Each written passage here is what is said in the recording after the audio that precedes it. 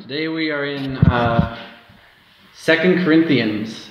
So if you have your Bibles, turn to 2 Corinthians 5 16 to 21.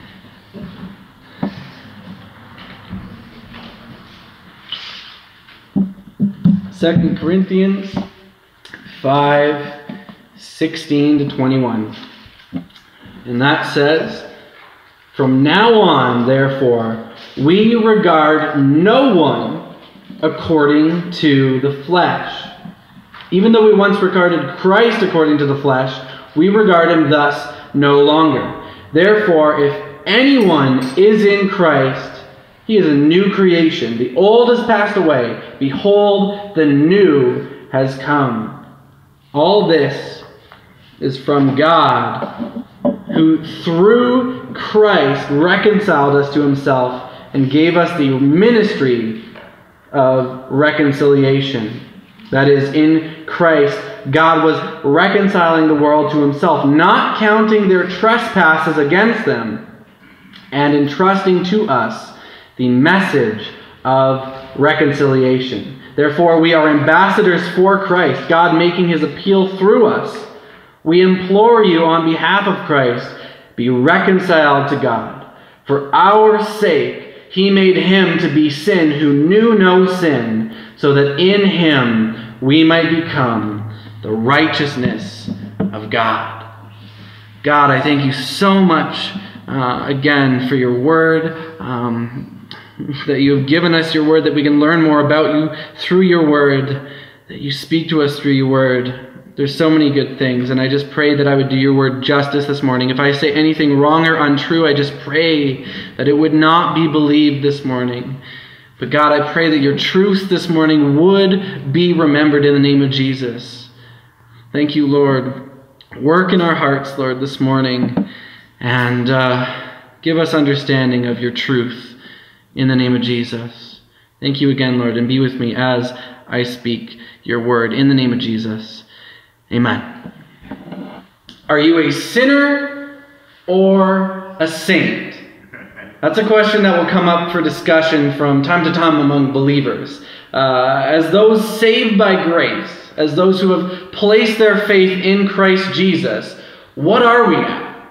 Because if we go back to our lives before Christ, the answer is easy. We were sinners. Certainly, we were sinners. Ever since Adam ate the forbidden fruit in the Garden of Eden, the fruit of the tree of the knowledge of good and evil, he became a sinner. And that carried over to all his descendants. Sin spread to every one of his descendants. And since Adam was the first human, his descendants include every human. Romans 5:12 tells us Romans 5:12 tells us that sin came into the world through one man, and death through sin, and so death spread to all men because all sinned. And I know it said spread to all men, uh, but the Greek word used there means more than just men. It, it means mankind, so it's men and women. Uh, so death spread to all men and women because all sinned. Adam's sin runs throughout all his descendants, male and female, and so his punishment, death, also runs throughout his descendants. As Romans 6:23 tells us, the wages of sin is death. The punishment for sin is death. So for every human born to this earth, the truth is we all sin and we all die. Every human is born sinful. Every human sins. Every human is a sinner. But once we accept Christ, are we still sinners? Even as those saved, we, we still mess up. We're, we're not perfect yet. We still have the flesh. So, yes, we sin, and that by definition would make us sinners. We are those who sin. But let's look a little closer at what the Bible has to say about being sinners and about being saints. So, what is a saint? Is it someone who has passed away that the Catholic Church has named as a saint? Perhaps those people are saints, uh, but even the Catholic Church, calling them canonized saints would only claim that they're the ones that they are certain are saints. Being recognized as a true saint isn't something that's up to the Catholic Church, it's something that's up to God. So when we look to God's Word, when we look to the Bible, what do we find there about saints? One thing that we find is that you can be a saint while still being alive on earth. Because Paul writes to saints. For example, in the very first verse of the book of Ephesians, Paul begins by introducing himself and who he is writing to, saying, Paul, an apostle of Christ Jesus, by the will of God, to the saints who are in Ephesus. So there are saints in Ephesus, which means, yes, there are saints on earth. So, who are they? What is a saint? What does the word saint even mean? Well, if we look at the Greek word for saint in this verse, we see the word hagios, which means set apart or, or holy. So a saint is someone who is set apart. Set apart from what? Set apart from the ways of the world. Different from the world. A saint is someone who is different from the world. Different how? Different because they have Jesus. As Paul says in Ephesians 2 18 and 19, for through him, through Jesus, we both have access in one spirit to the Father. So then you are no longer strangers and aliens, but you are fellow citizens with the saints and members of the household of God. Through Jesus, one is no longer a stranger or an alien to God the Father. They now have access to Him which makes them fellow citizens with the saints. They are included among the saints. So, if you are in Christ, you're a saint. If you are truly a Christian, if you have made the decision to turn away from your sin toward instead following Jesus, committing your life to Him, placing your faith in Him and what He's done, you know, dying on the cross and rising again, then your sins are forgiven. You have been saved from hell, and you are allowed into heaven after you die, and you are counted among the saints. You are a saint. In Christ, you are a saint. But again, on earth, even as a saint, you still have sinful flesh. So, what do we say to that? Why even have the question, are we, are we saints or are we sinners, if, if it looks like we're both? It's because we're not regarded as both.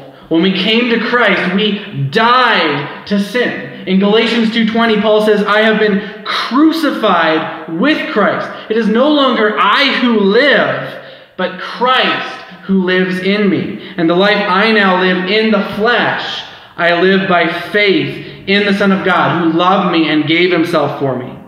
Our old self, it has died. It is no longer our old self that lives, but Christ who lives in us. Christ is now our life. So even though the remnant of our old selves, our, our sinful flesh, still clings to us, we now live by faith in Jesus. We have died to sin and we are alive to God. We have been crucified with Christ. We have identi- identified ourselves with his death. And now, in our new life, with his resurrection. That's actually what baptism is about. Dead to sin, going down into the water, death. Under the water identifies us with his burial and then coming back up identifies us with him in new life, in resurrection. So, water baptism symbolizes the transformation that has actually happened in our life, right? We have died to ourselves, we've turned away from our sinful path, and we have come to Christ through faith, entering into new life, dead to sin, alive to God. Paul talks about this in Romans 6. So, starting in verse 2, he says, How can we who died to sin still live in it? Do you not know that all of us who have been baptized into Christ Jesus were baptized into his death? We were buried, therefore, with him by baptism into death, in order that just as Christ was raised from the dead by the glory of the Father, we too might walk in newness of life. For if we have been united with him in a death like his, we shall certainly be united with him in a resurrection like his. We know that our old self was crucified with him in order that the body of sin might be brought to nothing, so that we would no longer be enslaved to sin. For one who has died has been set free from sin. Now, if we have died with Christ, we believe that we will also live with him. We know that Christ, being raised from the dead, will never die again. Death no longer has dominion over him. For the death he died, he died to sin once for all. But the life he lives, he lives to God. So, you also must consider yourselves dead to sin and alive to God in Christ Jesus. In Christ, you must consider yourselves dead to sin and alive to God. Consider yourselves saints rather than sinners. Consider yourselves according to your new nature rather than the nature of the flesh, which brings us to 2 Corinthians 5:16. From now on, therefore, we regard no one according to the flesh. From now on, we regard no one according to the flesh. Even though we, we uh, saints on earth have the flesh, and we still mess up and we still sin, we don't regard each other according to the flesh because really, that's not us anymore. It still clings to us, but really, it's not us. From now on, therefore, we regard no one according to the flesh, even though we once regarded Christ according to the flesh. We regard him thus no longer. Therefore, if anyone is in Christ, he is a new creation. The old has passed away. Behold, the new has come. If you are in Christ, you are a saint. You are a new creation. You have been completely transformed. You are no longer dead in your sins. You have died to your sins.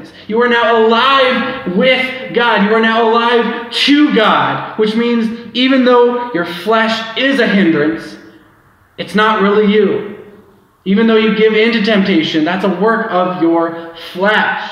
And I know it's hard to separate uh, that. It's hard to separate that because, from, from your perspective, your flesh is you, and your new self is you.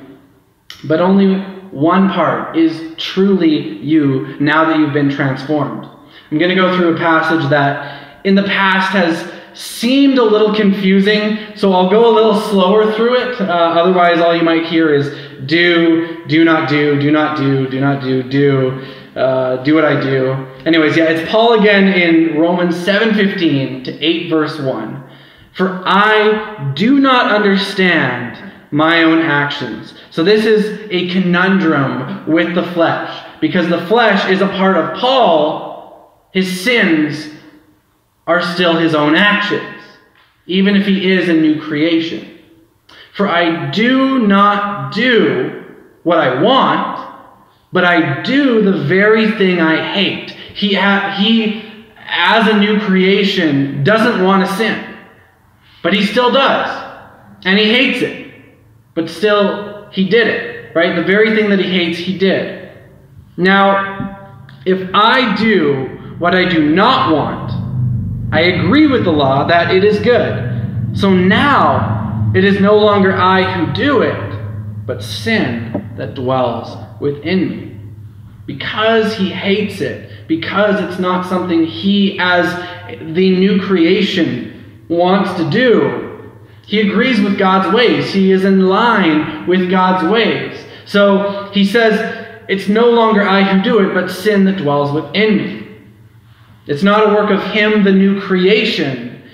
It's a work of the sin that dwells within his flesh, which I know is hard because yeah, we want to do bad things, you know, for us in our lives when we're tempted. There is that part that wants to do bad things. There's something in us that wants to sin. Otherwise, temptation wouldn't be so appealing. But that's not you, the new creation, that wants to sin. That's the flesh. For I know that nothing good dwells in me that is in my flesh. For I have the desire to do what is right, but not the ability to carry it out. For I do not do the good I want, but the evil I do not want is what I keep on doing. Now, if I do what I do not want, it is no longer I who do it, but sin that dwells within me. So again, it's not him, the new creation, that does the sinning. It's the sin that dwells within him that is in his flesh. So I find it to be a law that when I want to do right, evil lies close at hand. For I delight in the law of God in my inner being. And remember that, in my inner being but I see in my members another law waging war against the law of my mind and making me captive to the law of sin that dwells in my members. So it's a battle, right? As it is with us to battle against our flesh, waging war against our flesh. Wretched man that I am, who will deliver me from this body of death? Thanks be to God through Jesus Christ our Lord.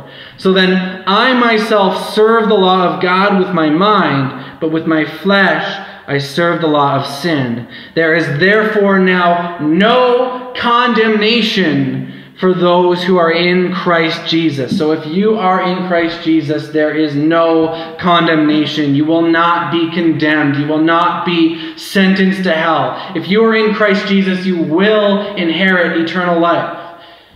But yeah, looking at this shows the two parts of you, right? Which is you you are a new creation. And your flesh, which is sinful. The new creation and the flesh. But you yourself, as the new creation, you don't sin. It's no longer you who sin, but the, swell, but the sin that dwells in your flesh. So then are you, as the new creation, a sinner? No, actually. The sinner is your flesh. If anyone is in Christ, he is a new creation. Not will be a new creation, is a new creation right now, right here on earth. The old has passed away. Behold, the new has come. All this is from God, who through Christ reconciled us to himself and gave us the ministry of reconciliation. That is, in Christ, God was reconciling the world to himself, not counting their trespasses against them, and entrusting to us the message of reconciliation, not counting their trespasses against them. If we are in Christ, our sins, our trespasses are completely forgiven. They're not counted against us anymore. Therefore, we are ambassadors for Christ, God making his appeal through us. We implore you, on behalf of Christ, be reconciled to God. For our sake, he made him to be sin who knew no sin, so that in him we might become the righteousness of God. It's amazing the love of God when you see that it says, for our sake, the sake of sinners, because that's what we were sinners. For the sake of sinners, He made Jesus, who, who knew no sin. He was the only sinless person who was also God. But he made Jesus to be the sin offering, the one who took all our sins, past, present, and future, upon himself. He was the perfect sacrifice, the only perfect human life. And he was given up. His life was given up for every other human life, which was imperfect, which is sinful, which was deserving of death and hell, so that we might become saints, so that we might become righteous. And not just any degree of righteous, but the only degree of righteous that can enter heaven, the righteousness of God. And that's why we're that's how we're seen because of Christ. We are covered by his righteousness. So if you are in Christ, don't think of yourself as a sinner. Do not regard yourself according to the flesh. Think of yourself as a saint. Regard yourself as righteous. And it's not a righteousness of your own, so don't get proud, right? Praise the God who deserves the glory. Praise Jesus who was crucified for you. Praise the one who made you righteous because of your faith in him and because of his grace. I know we often call ourselves sinners because we don't want to seem like we're better than those who aren't believers, who, who don't know Christ, because it's true, we're not better than them.